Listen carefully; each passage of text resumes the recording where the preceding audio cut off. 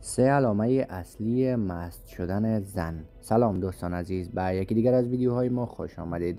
اگر بیننده جدید هستید و تا حال channel ما را subscribe نکرده اید دکمه subscribe را فشار داده علامت زنگوله را فعال سازید تا از ویدیوهای جدید ما آگاه شوید.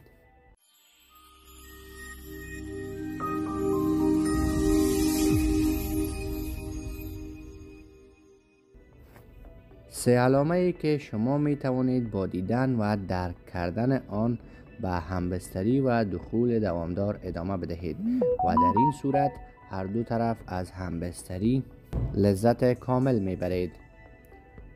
همبستری اگر همیشه به یک طریقه یا position باشد آن را نمی توان همبستری سالم نامید و اگر شما می خواهید که خودتان و همسرتان از همبستری لذت کامل ببرد پس position های همبستریتان را همیشه تغییر دهید. خوب حالا سه علامه ای که شما می توانید بفهمید که همسر شما آماده شده است را باید بدانید و قبل از بروز این علامات به دخول شروع نکنید. زیرا در این صورت از همسرتان و از همبستریتان لذت کامل نمی‌برید. اول وقتی که شما با همسرتان عشق بازی می کنید بعد از چند دقیقه در چشم های او کمی سرخی دیده می شود و این علامه نشان می دهد که همسر شما آماده همبستر شدن است.